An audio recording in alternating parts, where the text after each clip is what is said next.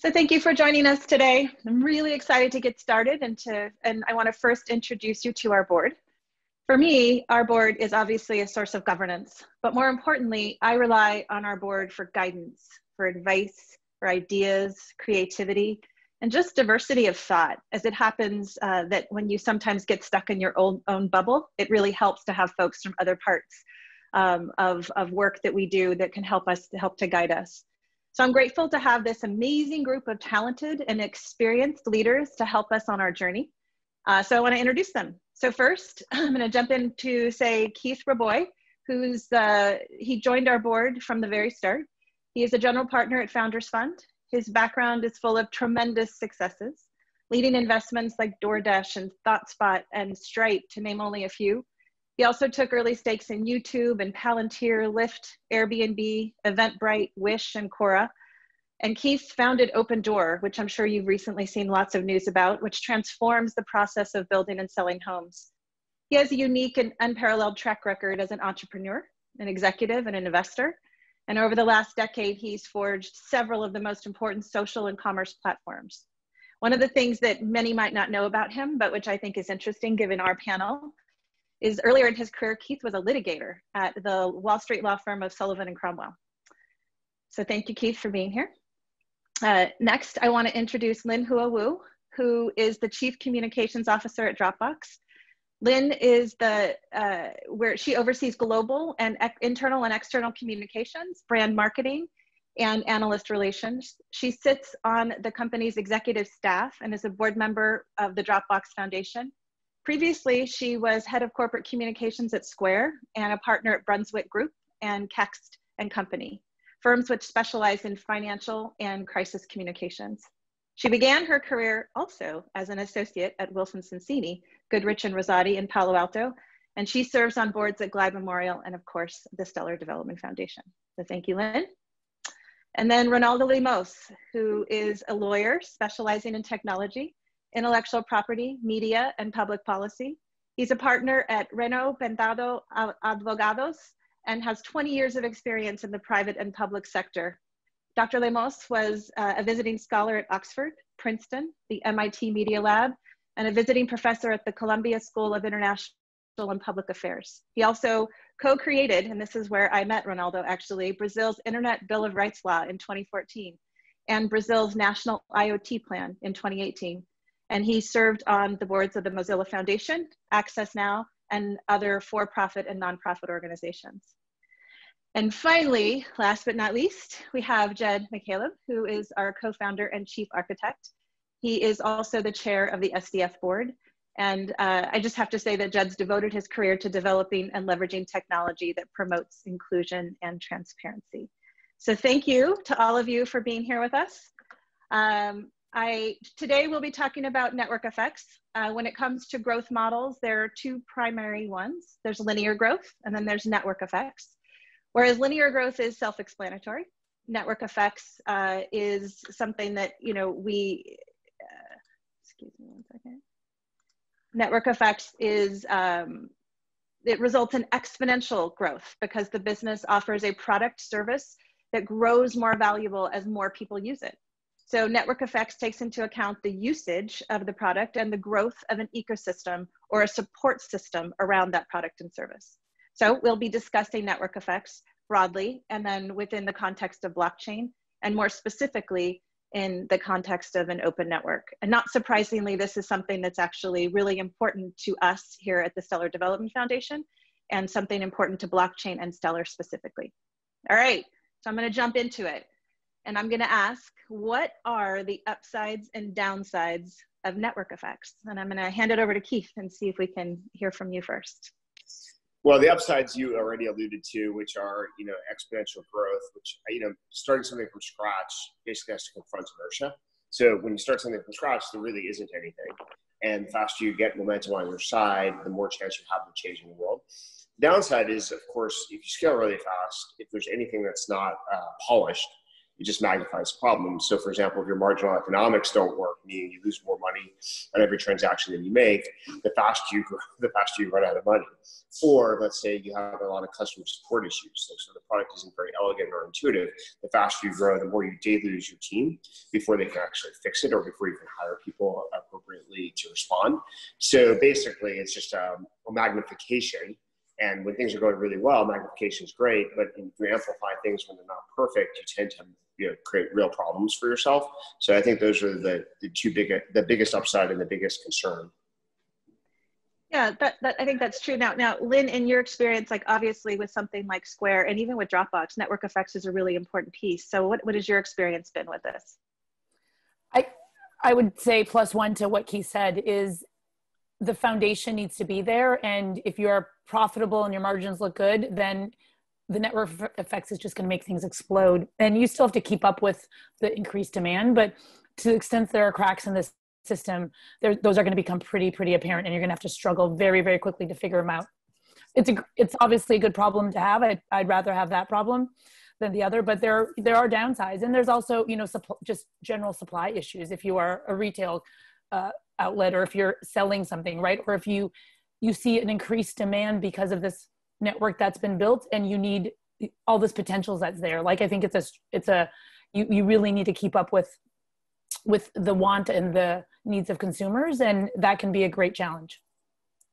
Just one to follow up on that Lin like in your experience has it been that the communications and the brand marketing and everything that you've done has that really Im- increased the network effects opportunity or how has that how has that affected it yeah, I think that it, you know, when I think about, you know, how do you know when it's the right time to sort of help scale a team, for example, when you're doing communications and brand marketing? I mean, there's resource constraints, but the network effects are going to increase the need for reactive communications always, right? Because you do see there will always be cracks and things that you need to work out.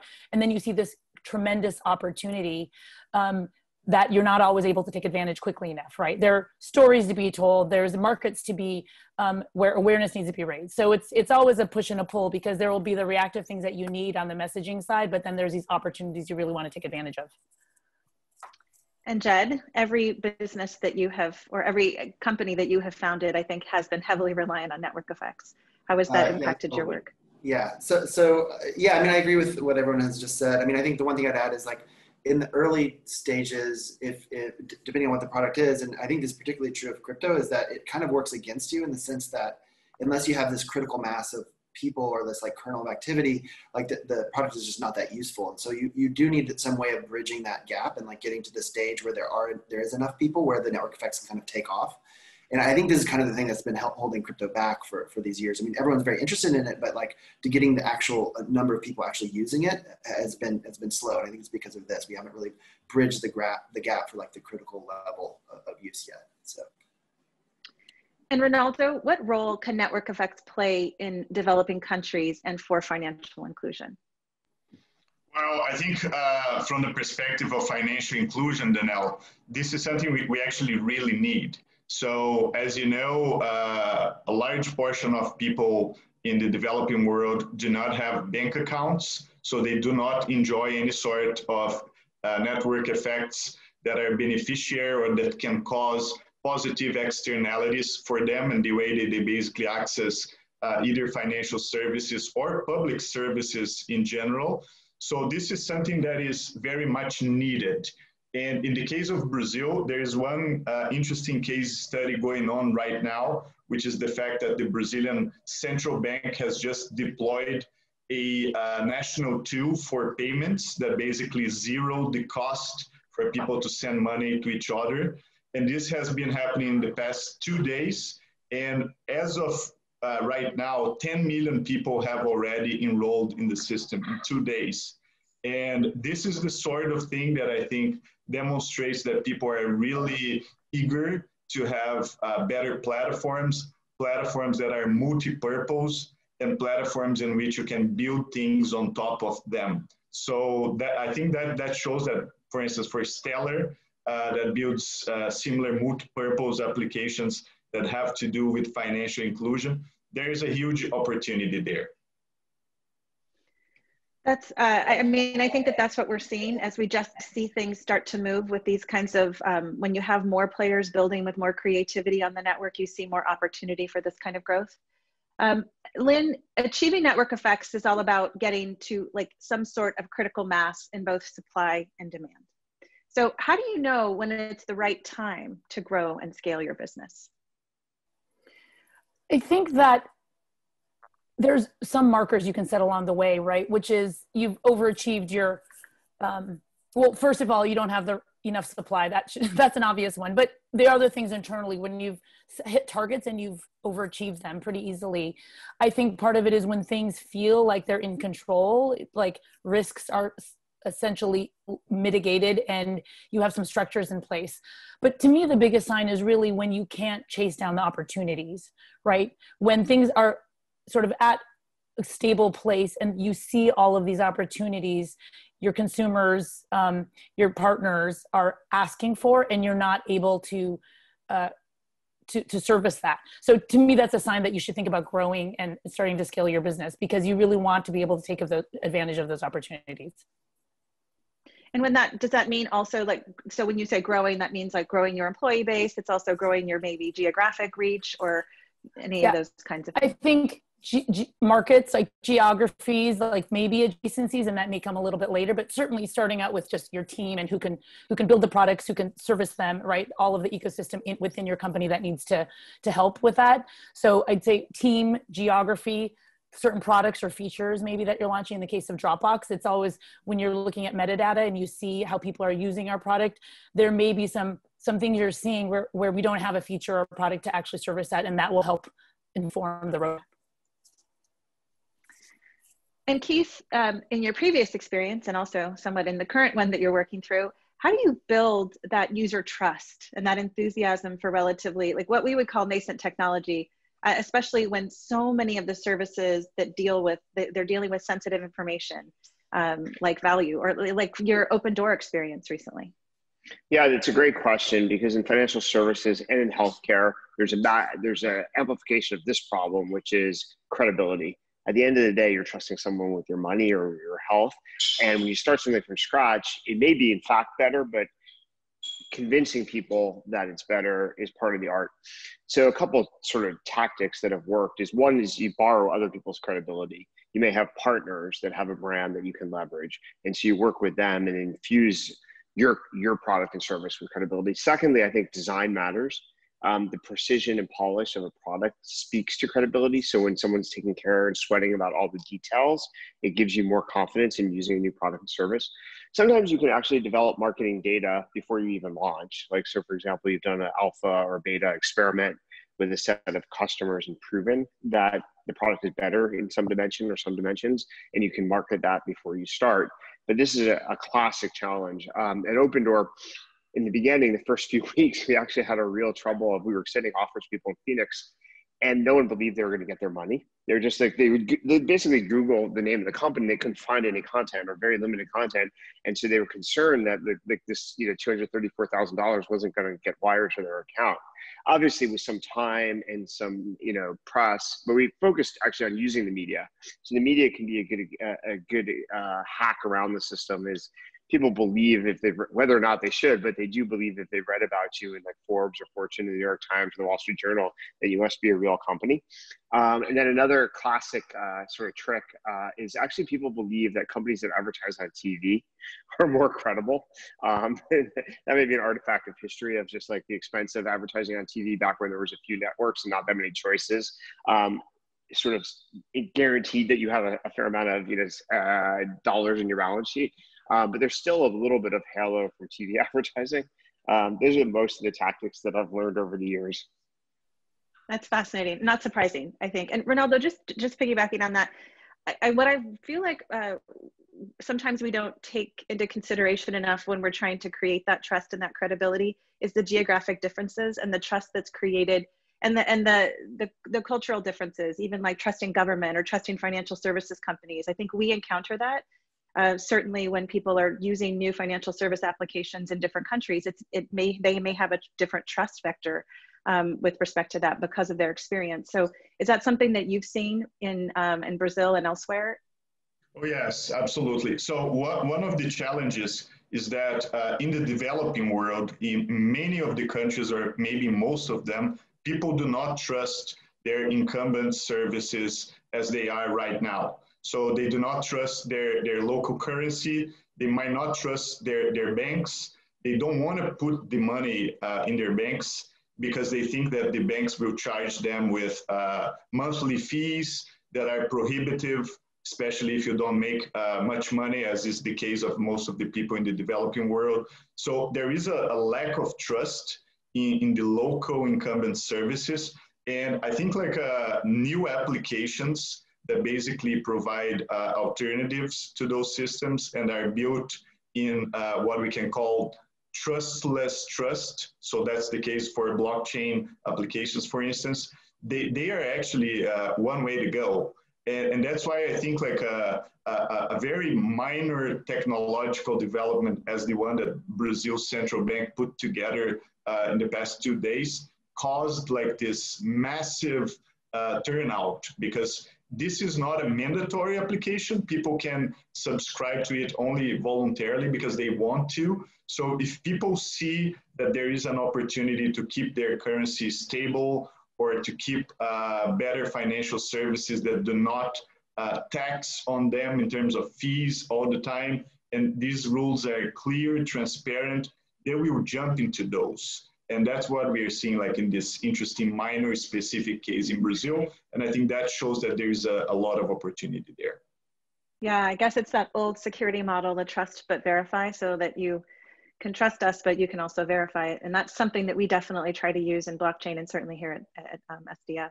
But Lin, how do you get to the place where you can use your messaging for user trust in your marketing materials? Like, how do you convince users through messaging to be able to trust you? Well, first of all, I want to say thanks, Keith. I loved Keith's plug for TV advertising because it's always a constant struggle to get the CFO to agree to allocate dollars to top of funnel brand marketing spend. And these things are very expensive. So maybe there is some truth. If you have enough money to do the TV advertising, you must be somewhat of a legit entity. Um, I, I think that to me, marketing and user messaging is, it really has to be what what I would call it's it's a little bit jargony, but earned, owned, and paid, right? So it's the channels of of not just um, paid marketing, but it's earned, right? So what you would pitch to a Forbes or Fortune, and it's also your own channels that you're you're putting out yourself. And I think the world is becoming much more of an owned media world where you can actually help shape your brand, build credibility with your users, build awareness of your products and what you stand for. Because I do think that everything you're putting out there, right? Everything you're putting out there on your social media channels, if you're do, doing paid advertising or you're doing profiles with different publications, you know, people will find these things and they will reference them and they will do research before they want to do business with you. And you have to have a consistent message.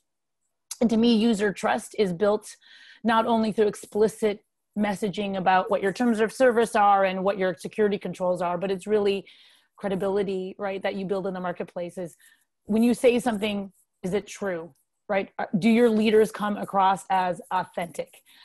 Is your advertising, you know, sort of appropriate and does it resonate with people? So I think to me, it is a really full full frontal effect like you have to do it on all channels and you have to be consistent and you have to actually it has to be true right so when when we measure things for my team at dropbox we do brand favorability as a general like sort of very high level metric where we are doing surveys out in the marketplace um, actually quarterly to just what, what do people think of the of Dropbox as a brand? And one of the questions is do you trust this brand? And it's a little bit of an open-ended question because we're not saying do we have the best security controls and the most security engineers? And is do we do a bug bounty program? We're actually asking about just general favorability and trust and we will get a lot of feedback from that right? And we might have to tweak some things and, and put some kind of messaging more at the forefront. Um, but general i think it's really an overall effect about how you show up in, in, in the market. Yeah i think that that's absolutely true and we see it time and time again i think. Uh, so Jed, in blockchain, we're still, uh, I, hate, I hate calling this, technolo this technology nascent, but everybody does. So I'll say we're nascent. I like to say we're kind of past that stage, but it's still, um, we haven't created that critical mass yet. Uh, and I think we may be just reaching that state where we can achieve some network effects. But so, how do we go about creating that critical mass on blockchain? Yeah. Um, so, I, I, mean, I think it's not that different than a lot of other industries and a lot of other, um, you, you, know, new technology. But basically, uh, you know, for a long time, blockchain was like, or you know, blockchain applications were like super technical and, not really consumer focused, and they were mainly a lot very inward looking. Like, I mean, people that were interested in this stuff were, were very tech savvy and, and, liked it for various reasons, but they didn't take a view of like how we get this out to to you know people who just don't actually care about this uh, the technology they just want it to do something useful right? And so i think that's a big piece of it is just like starting to focus more on on the end user and like how people are actually going to use this in the world and making it super simple and not not relying on the fact that it's this shiny new thing but like actually making it useful for people. And then also kind of like what i was mentioning before is that that uh, all of it really depends on on a certain critical mass of people and like there needs to be some way to bridge from like zero to, to like you know whatever the number of people it needs to be to make these things actually useful in the world because uh, you know all like all the applications of, of like this blockchain type technology that i know of depend on a certain set of people using it right and so and so i think that's been the big challenge and that's what needs to be we need to figure out how to overcome that to be able to like get to the next stage essentially. And then, Ronaldo, when we're talking about uh, growing and scaling, I think that most of us want to do it in a way that's sustainable, but also ethical. Um, so, what would, how should we be considering to do that? Uh, there is a number of factors, Denelle, but for instance, I've been working quite a lot in the digital ID uh, formats and ideas for the past like four years. And I think there's a huge market for KYC, so know your customer.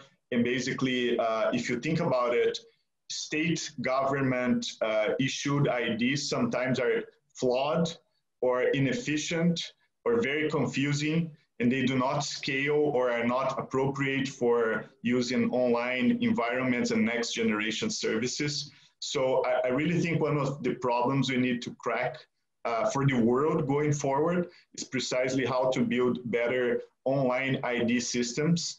And I think that plugs directly into the possibilities of blockchain enabled services. So uh, there, there, are so many uh, theoretical and practical uses that can be amplified if we solve, for instance, the, the KYC problem in a very smooth way and a way that, is portable from country to country. And I really find this fascinating. And, and, and there are so many different levels you can do that from centralized models, uh, which is basically the, the traditional way we approach this, to self-sovereign identities that are completely, completely distributed and rely on DIDs, uh, decentralized identifiers, and so on. So I find this debate fascinating because I think this is one of the ways we can amplify and build uh, more reliable, ethical, and auditable and transparent applications. So this is one of the ways I think uh, we can approach this. There, there are so many others,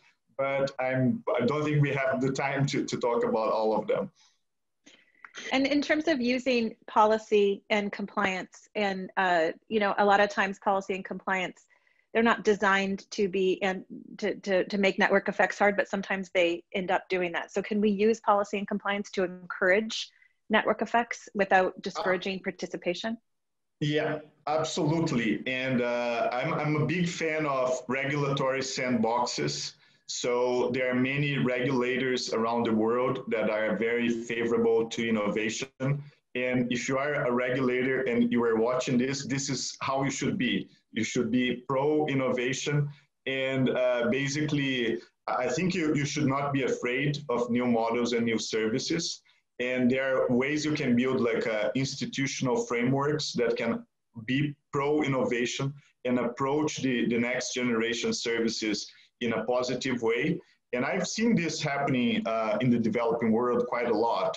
Uh, the, the, Brazilian Securities Commission, for instance, has been really pro innovation. The Brazilian Central Bank has been very much pro innovation. And I think you can build the institutional spaces uh, you need for that in the regulatory uh, side of it. And, and I've been seeing that quite a lot. And I think that, that brings some optimism to the table. Yeah, I love what Brazil has done, certainly with the focus on the internet um, and, and just the forward thinking that those the legislators have put forward there. Okay, Keith, really important question here. What industries do you think can perform especially well with on blockchain? Oh wow! Uh, you saved the hard, hardest possible question. If I knew the answer to that, I could actually get rich. Um, I don't know. Anybody knows the actual answer. I mean, we're all waiting. I mean, the disadvantage of being a VC is uh, you don't really have like much control, and so you kind of wait possibly for people to come to you with ideas, and then hopefully they resonate with you. But basically, you're very derivative, which is not a great place to be in life with what other ideas other people have and other things people want to chase. So one of the interesting things is when founders get very excited about, let's say, climate change or something, then we can fund it, but we can't really propel ideas without founders being interested. So you know, we've been sitting the Founders Fund. We basically mostly funded. Uh, we've actually mostly decided to buy crypto directly because we haven't actually seen too many. There's some exceptions, but we haven't really seen too many specific applications that we felt were unique to crypto and so we'd rather just basically buy you know the crypto directly. And um, that's that actually suggests a lack of um, ideas um, in, in some ways and somewhat depressing. But we, we can change our mind tomorrow as soon as the right founder walks in with the vision. But i haven't really seen anything that's incredibly compelling to me yet. Okay, well, that puts a lot out there for people to start thinking about what they need to do to make it compelling to you. That's what I like. Well, it doesn't um, have to be to me, but uh, at least one of my partners would be great. Oh, yeah, exactly. uh, all right, Jed. So just focusing on an open network and the and the there's a lot of um, uh, challenge sometimes around open source and people understanding open source. And so our network effects in that they can lead to natural monopolies sometimes. We saw that on the web um, antithetical to open source?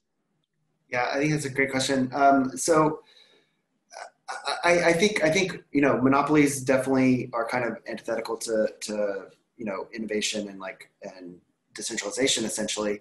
Uh, but I think that's why it's so important to make to make these things as an open network, like as as like I mean this is why Stellar is a, is a nonprofit and, and we want the the software to be owned by the world and and and be like developed in the open things like this right? I think because it would form the foundation of, of, of, of this network that other people can build on. Like for instance like if, if you wanted to make venmo today say if you wanted to make a venmo what you would have to do is compete with with venmo or these other payment applications and you'd have to build this huge user base of, of people to even be useful at all. Like the, no one would want to use your thing otherwise. But if there's something like stellar existed where it was kind of this universal payment network where anyone could plug into it, then what you would be doing is just building an interface into that thing. And, and you, then you, you're kind of competing at this different level in the same way once the internet was made, uh, you know, you didn't have to co- compete with like these recording industries. You could just put your music out there, like things like that, right? It just kind of, it, it, it, it um, it breaks the existing monopolies that, that are out there when you have this open network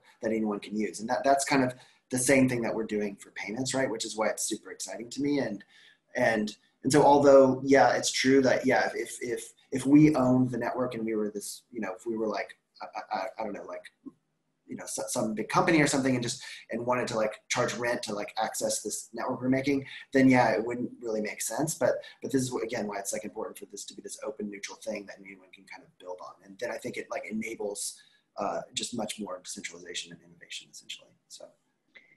And and sometimes i think that the open network um, it takes it's it's harder to get traction because you're not actually um, forcing people to go through the same things to get on and um, or sometimes paying them to come on. So um, what do we need to do? Um, and keith if, if it's okay i'll start with you. In the short medium and long term to reach network effects on an open network like what do we how do we need to think about that from an open network standpoint? You're muted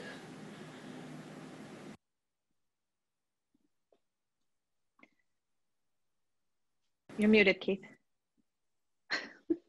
that was a mistake. Okay, so um, historically, there's a couple of tactics that people have used to solve this. So Jed's point earlier is the critical one, which is until you have some density or you know some minimum viable uh, volume or practical uh, sufficient nodes or something, the network effects basically can't kick in. So what people sometimes do is they literally hack the system and they create that handcraft that first, you know, sort of set of users, curate it. You know, the Y the Y Combinator advice to this is do things that don't scale, but you basically have to get there, you know, period. And then you hope that the network effects kick in afterwards that you can withdraw whatever things that you're doing by hand that just don't scale. That's one set of tactics. Another another way that's kind of worked is you basically have to create a single player mode um, that you know has value for me if there's nobody else that use the product, and then over time the values associated with other people using the product amplify the initial reason I adopted the product. So, for example, you know, I'll give you a silly example, but maybe it's clear enough. Is I have this app I use that tracks people's workouts and it basically shows you what workouts you're doing. Um, and it gives you some information that is useful to me. It also shows me what my friends' workouts are. Truthfully, like unless I had value in it initially and it helped me schedule my workouts, plan my workouts, reserve my workouts, I wouldn't have adopted it because, of course, none of my friends were using it once all my friends in San Francisco started using it, then then I use it mostly to look up what workouts they're doing and see if I want to join them for a workout. So it's mostly a social feature, but it never could have become a social feature for you know the hundred or so people that I occasionally go to a workout with, unless it had unique value to me initially. So you kind of have to sometimes start with a vision of just how is this a single player game, and then over time switch the prioritization. Yeah, that's great. For me, if those workout things, I just want to compete with my friends. So I'm glad that you actually want to join them for the workout. I'm impressed that you guys are working same, out so much. It's the, it's the, same thing. Competing and joining to me are the exact same. Um, Lin, what do you think about the on, on an open network and network effects? Yeah, I mean, everything that's been said really resonates. And because I come at it from a communications and marketing point of view, I think there is something about, you know, just making sure to, to engage that critical mass, it really is about awareness, right? And I think using influencers in the right way, where you have power users and really they're able to to convince and really influence. That's why they're called influencers so much. So, it, it you know, I've seen paying certain influencers to be ambassadors, so to speak, or incentivizing somehow actually can be really helpful to gain that critical mass. I think over time, as you scale and the network effects are kicking in. It really is about how do you make sure that there is engagement and collaboration. And like you just illustrated, Keith, it is that social aspect, right? So there's a community that needs to be created, and that I, I think has staying power. Um, so it is a community of use cases where you, the single player use, that speaks to me very well because if you can give both, that is the best of both worlds, right? If you can engage someone on a product or a service where there is value to them, like storing your things in Dropbox, right? um, but also being able to share and collaborate in certain features and products within the Dropbox and building this very robust ecosystem around you is going to give people staying power and it's really just going to hopefully exponentially grow that. Yeah, I think the ecosystem play is something that's really important. And certainly that's what we're trying to do with the Stellar ecosystem. Ronaldo, if you think about network effects and you think about ge geographic diversity and the challenges on an open network, how do you see that? Uh, one thing that uh, I find important is UX, so the user experience, how to make it uh, very clear, transparent, easy to approach, uh, especially if you want to build a massive uh, product, you have to, to, to be able to design it in a way that is uh, useful for those uh, who are educated, who are like sophisticated, but also for those who lack education, or come from a, a very different uh, background in which they don't have much connectivity and so on. So I think UX is one of the, the, the, key points that we, we can think. And of course, I think the beauty of open source is precisely that you can invite so many different uh, approaches uh, of people that can actually solve uh, that particular issue. So it's not a one size fits all, but it's basically uh, a way that you can approach it from different angles and from different needs. And of course, partnering with uh, some of the, the, the, key players or the thought and market leaders in order to do that, I think is very helpful to achieve it. Yeah, I think that UX is such an important piece of this. I think if we, and I, we've learned this lesson, I think with respect to blockchain, making it simple and not making it about the technology is a huge way to get people to use it. Um, so Jed, one of the things that I think we've learned is that um, people are mostly okay with the status quo. Um, or they just don't know that there's something better out there. And so, how do we move this kind of technology, the one that you've built, the one that we're trying to push through, into more of the mainstream, knowing that people don't always know that they need something better? Sure. Yeah. I mean, I think people are largely okay with the status quo in some places, where in other places they're definitely not, right? And I think this is one of the reasons why Stellar's focus so much on the developing world is because, you know, when you go to places like Nigeria, you know, 60% of the people don't have bank accounts. They depend really heavily on remittances and they get charged a tremendous amount for that. And people are not okay with that status quo. Or like in, in, in Argentina where the currency deflates or inflates and, and, and you know everyone's value kind of gets washed away that people are not okay with that situation and, and they're trying to look for solutions right so so to the extent we can we can have stuff built on stellar that's helping those set of people it's just much easier like when we would go and explain Stellar to people in the US, they always their their their immediate thing is, well, why don't you just use PayPal or why don't you just do this like yada yada yada. And and but when we go and explain it to people in like these developing world countries, they get it instantly and they think this is an amazing idea and they want it now, right? So I, I think you have to like pick the people having the greatest amount of pain and like build your things there. So so there's the, this there's not as much activation energy that you have to go over to like go like get them off the status quo. So that's kind of been our approach so far. So. And so when you first founded Stellar and built Stellar, is that sort of the the idea when you're looking at the open network to gain adoption by focusing on these the, the these regions where there is significantly more pain? Yeah i mean it, it's kind of like twofold. Like it, it, it, for one thing it like helps those people the most so it seems like the most compelling thing to do and it also it also like has the greatest chance of like making this thing actually work and getting wider adoption because like once it's working in these regions then it's easier to spread to other regions that need it maybe less than them but ultimately the whole world would be better off if they used it right so.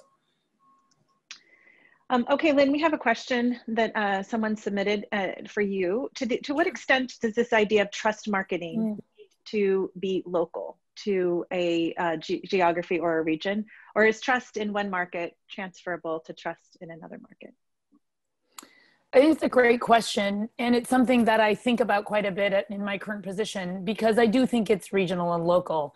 But you got you have to start out with the same sort of values. And I would say one tip I always have for any kind of marketing and communications work you do is really it, it has to be consistent because there is something called Google Translate, and there are, there is something called the internet. So you can find you know an Australian um, English language paper uh, paper or Japanese is going to be online, and, and so people read these things, right? Um, so I think you can start out with some key points that are very universal. But then when I think about how you how you run a brand marketing campaign or any kind of campaign, it has to be localized. And therein lies some of the budgeting problems because it can't be we just launched a top of funnel brand marketing campaign last week in the US here, right?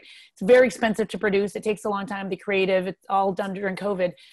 And in order to do that, let's say in Germany or in France or in um, Japan, where we have offices, it, it takes actually sort of a reworking of that. You can't just translate it, right? And when you think about Europe, the regulatory environment is actually quite different and more strict, right? So they're much more advanced, you could say, or strict, conservative, whatever you want to call it. But you do have other considerations there. And there's a different skepticism toward tech in each country, um, the cloud in general. So I think you really do have to speak to the local issues and be very tonally sort of appropriate.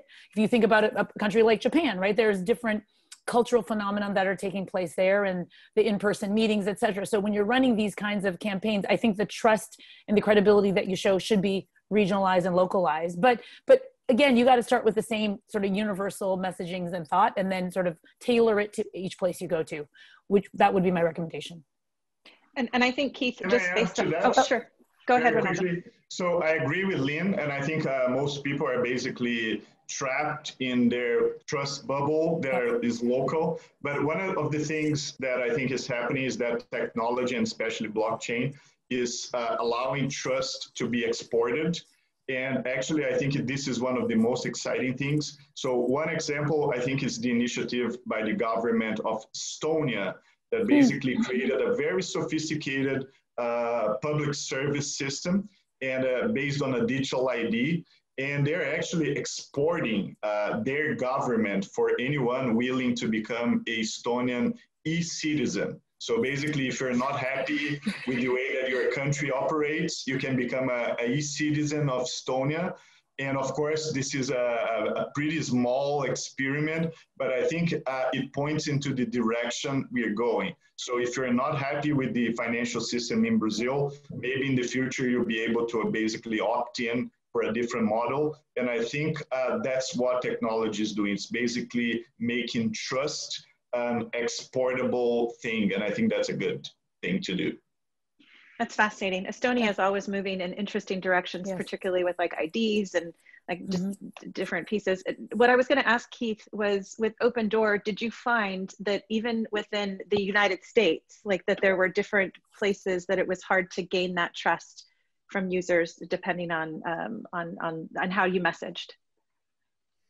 We were able to sort of use metrics from one geo and translate to another. And I think you can do this internationally as well. So, for example, classically in payments or financial services, volume, just gross merchandise volume, you know, something like that, payment volume is a metric that people look to for uh, proof of credibility.